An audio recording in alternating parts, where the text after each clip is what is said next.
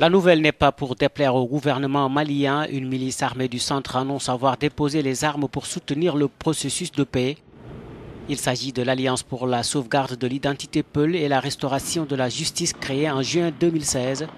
L'annonce a été faite par son président lors d'une interview dont l'agence Reuters a publié quelques extraits.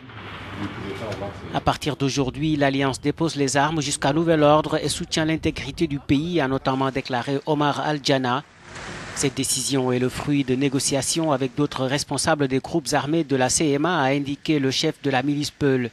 Elle intervient après la nomination des responsables de la commission de désarmement et de la réintégration par le gouvernement malien qui n'a pas encore réagi à cette annonce. Mais il s'agit sans conteste d'une bonne nouvelle vu l'impasse dans laquelle se trouve le processus de paix. L'Alliance nationale pour la sauvegarde de l'identité Peul et la restauration de la justice est l'un des trois mouvements à avoir revendiqué l'attaque contre une base militaire de Nampala dans le centre du pays qui avait coûté la vie à 17 soldats maliens le 19 juillet dernier.